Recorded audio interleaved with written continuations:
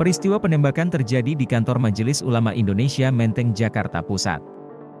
Penembakan dilakukan oleh orang tidak dikenal.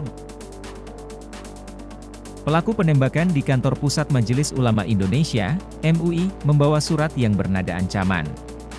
Surat ancaman itu ditujukan kepada Kepala Kepolisian Daerah, Kapolda, Metro Jaya dan Ketua MUI.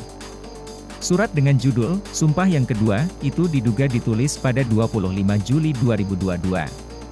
Kapolres Metro Jakarta Pusat Kombes Komarudin mengatakan pelaku satu orang, dia belum menjelaskan penyebab pelaku meninggal dunia. Polisi masih menyelidiki kasus tersebut. Peristiwa bermula saat seseorang datang bertamu dan mengaku ingin bertemu dengan Ketua Umum MUI. Diketahui, tamu itu sudah datang tiga kali ke lokasi.